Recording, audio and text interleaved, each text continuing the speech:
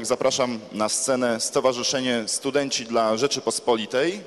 Witam serdecznie pierwszego uczestnika Archipelagu Inicjatyw Obywatelskich. Myślę, że należą im się duże brawa, tak samo jak należą się brawa wszystkim tym organizacjom, bo oni, proszę siadajcie sobie, oni pokazują, że naprawdę można, mają chęć, żeby swój czas, energię poświęcać dla Polski.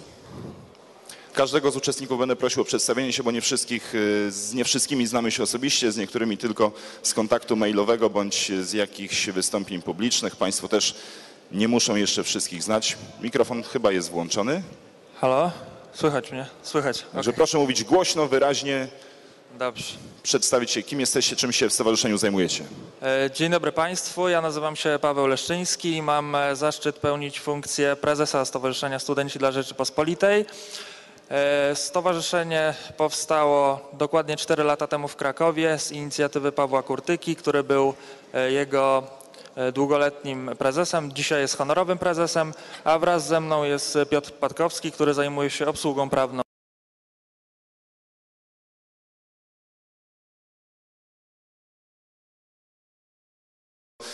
Popularne wydarzenia, akcje organizujecie na Facebooku. To najświeższa to akcja nie dla pochówku Jaruzelskiego na Powązkach. Wcześniej przedstawili, przedstawiliście w ubiegłym roku prawdziwą księgę zasług Wojciecha Jaruzelskiego.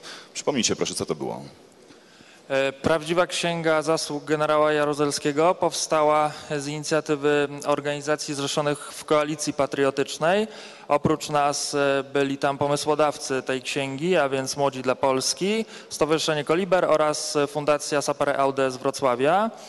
E, Inspiracją, taką negatywną inspiracją do powstania tej księgi była chęć zorganizowania przez środowiska lewicowe hucznych 90. urodzin dla generała Jaruzelskiego w Sejmie. My jako e, młode środowisko patriotyczne, konserwatywne, jako wyraziciele właśnie takich idei chcieliśmy się temu jasno przeciwstawić.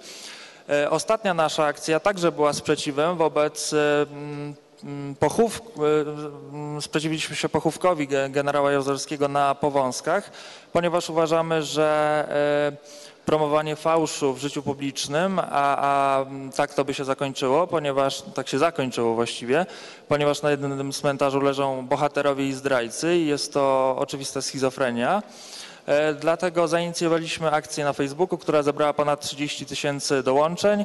Zorganizowaliśmy konferencję prasową, która cieszyła się dość dużym powodzeniem e, oraz na Uniwersytecie Warszawskim 4 czerwca e, debatę z profesorem Janem Żarynem oraz Rafałem Ziemkiewiczem na temat tego, jak to jest możliwe, że w dzisiejszej Polsce po 25 latach dzieją się takie rzeczy i czy ta wolność jest prawdziwa, czy tylko malowana na papierze, a może doświadczana tylko przez niektóre środowiska. Dobrze, to może jeszcze opowiedzcie o innych akcjach, bo na razie mówimy e, o dwóch, a tych debat w wielu miastach organizujecie bardzo dużo. E, To zacięło zupełnie, bo oprócz konferencji, która odbyła się na Uniwersytecie Warszawskim, odbyła się także konferencja o podobnym temacie na Uniwersytecie Jagiellońskim robioną przez krakowski oddział. E, Natomiast co do naszych innych organizacji, to konferencje, które urządzamy są wielotematyczne, bo od konferencji historyczno-politycznych po konferencje kulturalne.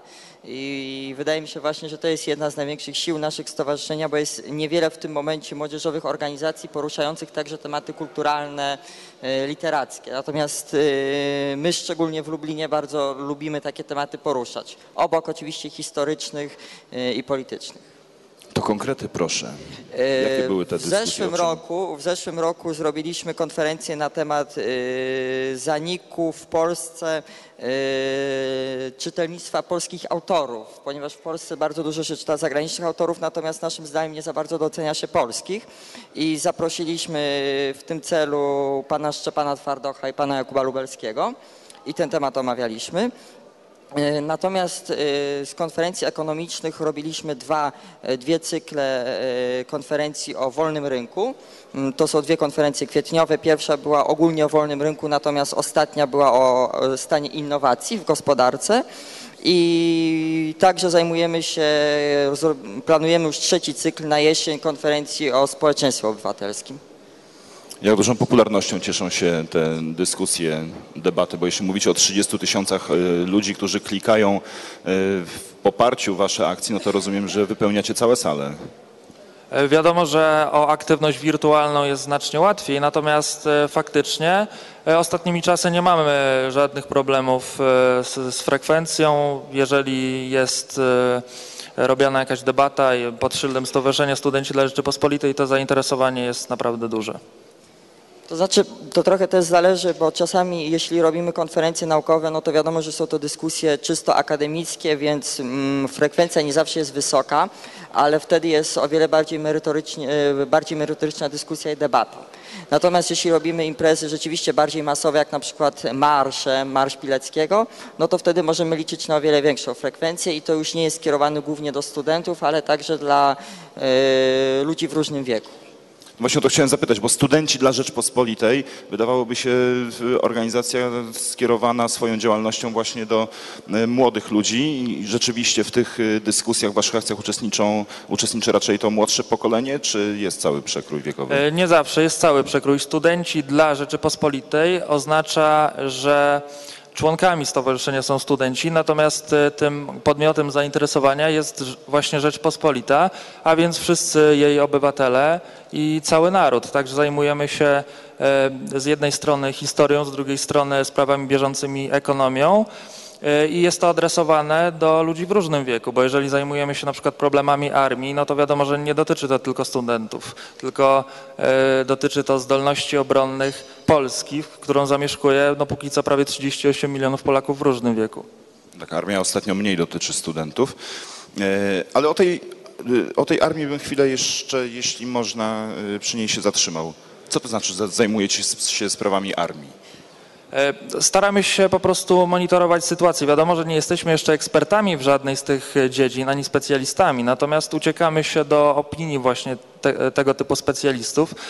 E, No bo e, w Polsce dzieje się masa niepokojących rzeczy, prawda? Ostatnio, e, no już nie ostatnio, bo ten proces trwa trzech co najmniej lat e, nastąpiło, czy no tak, nastąpiło ograbienie e, emerytów z bardzo dużej części ich pieniędzy, e, uargumentowane tym, że tak naprawdę są to pieniądze publiczne, czyli de facto niczyje i można je po prostu przeksięgować e, z OFE do, do ZUS-u, czy tam co dwa lata m, dawać ludziom jakiś fałszywy wybór, że ni, niby mogą sami to zrobić.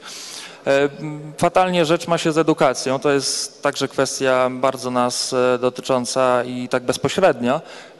E, Szkolnictwo wyższe. Trybunał Konstytucyjny prawda, ostatnio zakwestionował odp- konieczność odpłatności za drugi kierunek. Chodzi nam o to, że większość spraw jest po prostu bardzo nieuporządkowana, pozbawiona jakiejś wizji. Chcielibyśmy w oparciu o bardzo bogatą, piękną polską historię e, jakąś wizję dla Polski budować. Bardzo dziękuję. Stowarzyszenie Studenci dla Rzeczpospolitej, należą im się duże brawa. Dziękujemy bardzo. Będzie, będzie można się z nimi spotkać również y, niebawem na stoiskach tych wszystkich organizacji z archipelagu w czasie przerwy obiadowej i nie tylko. Bardzo dziękuję. A zapraszam już na scenę Redutę Dobrego Imienia.